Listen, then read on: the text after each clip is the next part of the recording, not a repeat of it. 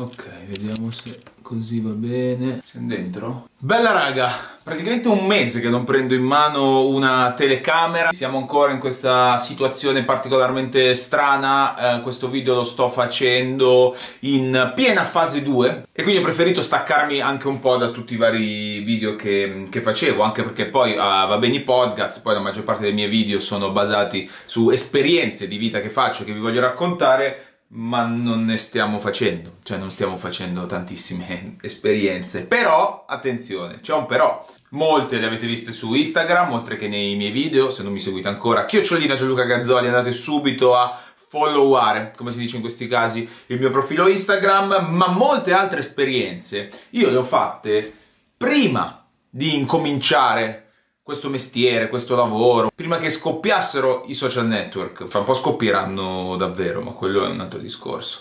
Eh, anzi, in questi giorni sto riflettendo molto sul fantastico mondo dei social network, sto anche leggendo un libro, magari un giorno ne parliamo e vi racconto. Tante cose le ho fatte anche prima, eh, perché il mio percorso, grosso modo, è iniziato nel periodo in cui i social network hanno iniziato a crescere. Ma soprattutto i miei viaggi in realtà sono iniziati molto prima, cioè dall'India al Nepal ad esempio, l'ho fatto proprio poco prima. Ad esempio, il mio primo viaggio negli Stati Uniti l'ho fatto nel 2010. Nel 2010 forse non ero neanche iscritto a Instagram e se ero iscritto su Instagram lo utilizzavo solo per modificare i filtri delle foto. Non ero sicuramente iscritto a YouTube, eh, non avevo mai caricato un video, facevo solo dei video così per me però, perché a me piaceva comunque fare video, a me piaceva comunque, io ho anche i video della gita di classe di quinta superiore, che è del 2007, perché mi piaceva andare in giro con la telecamera, raccontare, riprendere, mi facevo i video e li tenevo per me e per i miei amici. Io ho un sacco di video di robe assurde fatte con i miei amici quando facevamo le robe tipo Jackass, le corse nudi nei supermercati, però quelle sono cose che non vi farò mai vedere perché mi denuncerebbero.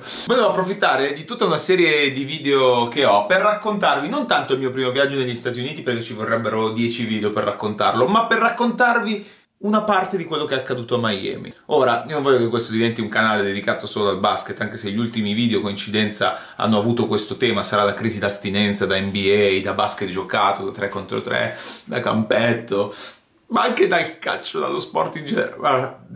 Vi voglio raccontare di quella volta che ho tirato un tiro libero all'American Airlines Arena di Miami. È successo davvero, è successo davvero, ancora non facevo nulla di quello che faccio oggi, quindi non avevo, diciamo, nessun tipo di, di, di, privilegio se vogliamo metterla così ma anzi la maggior parte delle cose che ho fatto anche in passato e che voi magari avete visto online avete detto ma come ha fatto? Ma com'è? E semplicemente mi sono buttato, forza di, di, di, volontà, determinazione e spirito di sacrificio, chiamatelo come volete. Questa cosa è successa, come vi dicevo, nel 2010. All'epoca lavoravo ancora in un'agenzia viaggi, eh, non avevo ancora iniziato con la radio, avevo fatto l'animatore nei villaggi, ma non avevo ancora... Da lì a poco avrei sperimentato il mondo delle web radio, ma mi ero portato questa telecamera. Fu un viaggio epico, un viaggio incredibile con i miei amici, avevo 21 anni, eh, primo viaggio negli Stati Uniti, prima tappa era New York dove successe di tutto, magari un giorno vi racconterò quello, la seconda tappa era appunto Miami. Ci siamo andati durante la Winter Music Conference. Facciamo così, io vi racconto le cose e nel frattempo magari vanno anche le immagini. Prima ripresa Miami Beach con questa videocamera, ho già ripreso quell'altra. Perché che cosa è successo? Miami è un posto incredibile, voi immaginatevi 4, 5, 6, 21 anni con gli ormoni impazziti che arrivano a Miami. Miami è una città totalmente esagerata, se ci siete stati. Una città, ecco, forse appunto il modo per definirla è esagerata, perché è tutto all'eccesso. I manichini hanno le tette grosse, le macchine sono tutte macchine incredibili, cioè è, è tutto pimpato. E noi ci ritroviamo lì, insomma, volevamo andare alle feste, volevamo andare a vedere tutti quei posti che avevamo visto nei film oppure nei video su, su internet, i pool party, ragazzi, pool party, le feste in piscina, eravamo lanciatissimi. Vorrei anche riprendermi anch'io perché fondamentalmente sono venuto anch'io, no vabbè ma... Ciao mamma! La Winter Music Conference è quel periodo eh, in cui Miami si riempie di festival, di feste, appunto feste in piscina, i DJ più importanti del mondo vanno a Miami, è nel periodo dello spring break, quindi nel periodo in cui i ragazzi del college eh, fanno pause, quindi possono andare a divertirsi. Di solito puoi scegliere o vai a Tijuana se ti vuoi disfare, quindi vai in Messico, o se no puoi andare a Miami, è un ben video ah, incredibile. Eh, noi arriviamo gasatissimi, in realtà avevamo speso gran parte dei nostri soldi a New York e quindi siamo arrivati squattrinati. Questo è ufficialmente un Ma dov'è il mare? Sì, eh. che devo aspettare? Gabri se la prende con un semaforo. Sto andando bruces Miami. Ma io non me lo aspettavo così fuori. Prima di andare alle feste, cioè godiamoci la Miami e quindi a questo punto cosa facciamo? Prendiamo anche la macchina a noleggio. Voi pensate io avevo preparato un CD apposta per quel viaggio lì, perché avrei preso, la sapevo che avremmo preso la macchina a noleggio e io volevo la colonna sonora proprio per vivere quell'esperienza incredibile.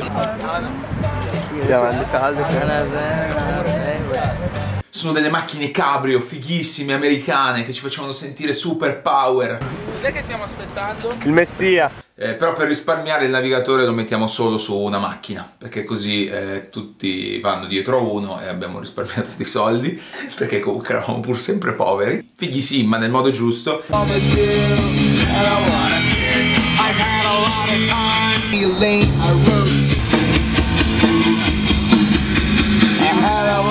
andavamo via per queste strade. Abbiamo attraversato questo ponte bellissimo che collegava Miami alle isole Keys. Il nostro obiettivo era arrivare a Key West un'isola fuori da ogni logica, sembra di andare veramente non su un'isola ma nella sezione dei Pirati dei Caraibi di Disneyland. Per arrivare a Key West facevamo sosta nelle altre isole, il bagno, risalivamo in macchina, cose incredibili, cose incredibili, viaggio tra amici, forse uno dei viaggi più belli che io abbia mai fatto. Hog dog saloon. Gallo, ma siamo nel saloon più a sud. Più a sud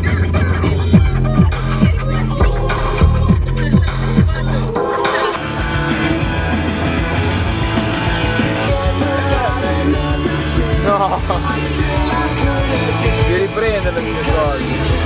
Eh, attenzione ai telepass americani, quello si chiamava Sunpass, non funziona esattamente come il nostro telepass, giusto per darvi due dritte. Ci siamo dovuti fermare in un motel che sembrava classico motel da film per poter fermarci e pagare una multa. Durante la Winter Music Conference ti davano un libretto con su scritto il programma di tutte le feste. Ogni giorno c'erano 15-16 feste a cui andare, alcune erano gratis, alcune erano a pagamento. Noi abbiamo detto vabbè dai andiamo a quelle gratis, però arrivavamo a quelle gratis eravamo solo uomini e diciamo ma perché? Perché comunque eh, in quella pagamento le donne entravano lo stesso gratis e quindi se volevi andare in quelle fighe con i DJ fighi e anche le ragazze solitamente anche molto belle dovevi pagare un sacco di soldi quindi dopo aver capito anche questo movimento abbiamo detto vabbè dai allora andiamo dobbiamo, oh, dobbiamo farne una fatta bene e allora che cosa succede? Pool party con Bob Sinclair. No, dobbiamo andare. Arriviamo di fuori, costava un botto di soldi. Ma raga, come, come facciamo? Come facciamo? Ma siamo pure sei maschi, come facciamo? I PR a Miami sono quasi tutti italiani, o comunque ce ne sono molti italiani. Un ragazzo italiano ci vede e ci fa una proposta incredibile, cioè ci fa pagare praticamente meno della metà l'ingresso con i bracciali e ci fa entrare da dietro, di nascosto. Noi accettiamo, da una parte noi ci abbiamo guadagnato perché abbiamo pagato meno della metà e lui ci ha guadagnato perché entrando da dietro i soldi se li ha presi tutti lui. Lo salutiamo, non so se guarderai mai, guarda- non so se guarderai mai questo video, ma siamo comunque debitori perché fu un'esperienza incredibile. Classici italiani, direte voi. Però però attenzione, fu un party pazzesco, entrati lì abbiamo visto cose che non avevamo mai visto nella nostra vita da ventunenni. Questo l'ho visto su YouTube, raga. Eeeh, wow.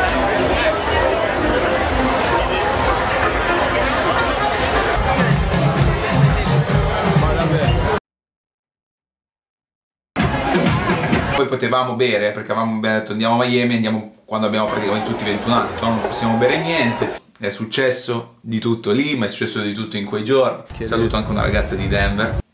Ti voglio bene Denver.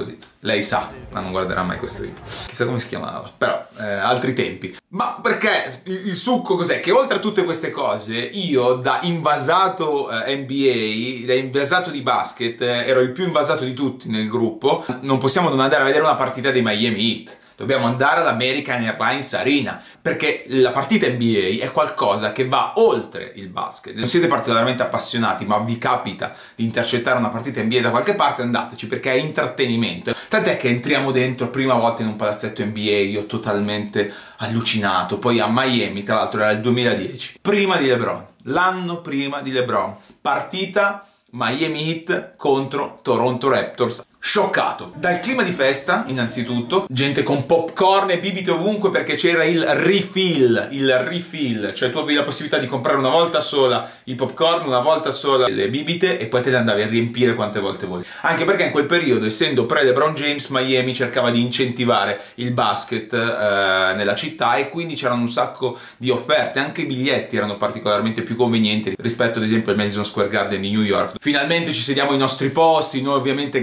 gasatissimi, con le magliette, tant'è che a un certo punto entrano in campo i giocatori, no, ah, ah, non capivamo niente, fantastico, ci gasiamo, ci danno i cosi gonfiabili da sbattere, noi sbattevamo tutto, cannoni sparamagliette, ragazzi, sai quando deve filare tutto nel modo giusto? Spara maglietta, salto, la prendo, ragazzi. Tutta l'altra cosa che mi colpì moltissimo è vedere il palazzetto mezzo vuoto praticamente per metà partita.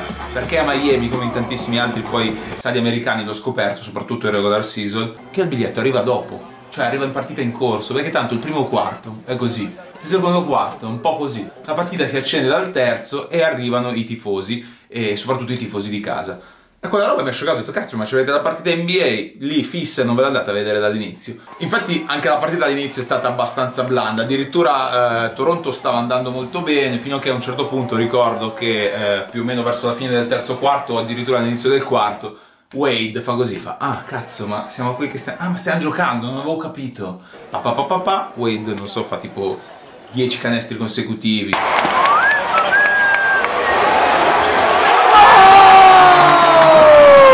E vanno a vincere la partita e noi eh, abbiamo vinto. Noi ormai eravamo di Miami. Usciamo e gli dico raga no fermi fermi devo tornare dentro che devo andare a fare almeno una foto con l'arena vuota. Ritorno dentro e vedo che ci sono delle persone che stanno entrando in campo in fila indiana sono in coda. Entrano e tirano. Attenzione cosa vuol dire? Non posso lasciarmi scappare questa cosa. Vado giù di corsa mi metto in coda anche io sto lì, ta ta ta facciamo un passo alla volta. Mi spiegano, queste persone che sono qui in coda, che non erano tante, erano una decina in realtà, avevano vinto un concorso, un premio. E quindi avevano la possibilità di tirare un tiro libero dall'American Airlines Arena di Miami. Cioè, è come tirare un calcio di rigore a San Siro. Io questo premio non l'ho vinto.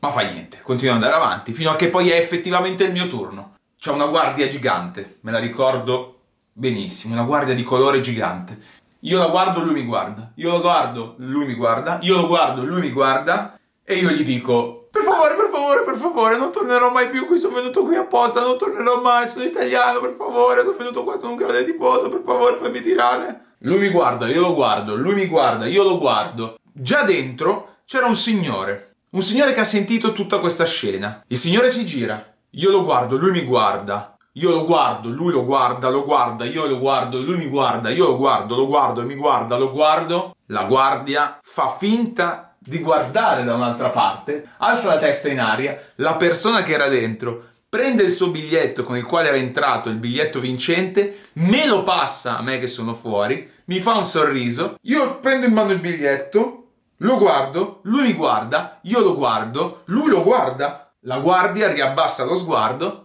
e mi apre la porta e mi fa entrare. E io ero sul parquet dell'American Airlines Arena di Miami. Ma attenzione, in realtà non ero proprio sul parquet, perché all'inizio, per non rovinare il parquet, ti fanno tipo una passerella, tipo red carpet. Ma sono lì in campo perché mi giro era la mia prima volta in un campo NBA, poi negli anni, fortunatamente è successo altre volte in altre situazioni, ma lì avevo proprio gli occhi dell'amore. Superato il pezzo del red carpet, sono sulla lunetta del tiro libero, dove ha tirato Wade prima, dove ha tirato Bosch, dove ha tirato... dove avrebbe tirato, e comunque avrà tirato anche prima, LeBron James tante volte, ero lì mi passano la palla, un tiro libero solo, mi tirano le gambe perché non avevo mai vissuto un'esperienza del genere ancora, cioè non avevo ancora giocato contro Giannis Antetokounmpo, ma ero lì, è il mio momento.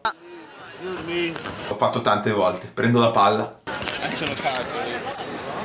Sì. Movimento. Spezzo il polso. La palla gira. Sdang! sì, Gigi voleva farsi la partita.